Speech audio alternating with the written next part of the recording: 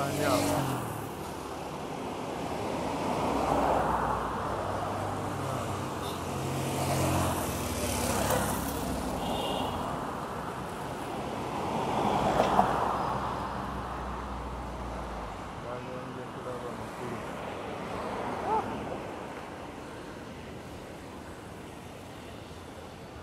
Voilà, maintenant je vais me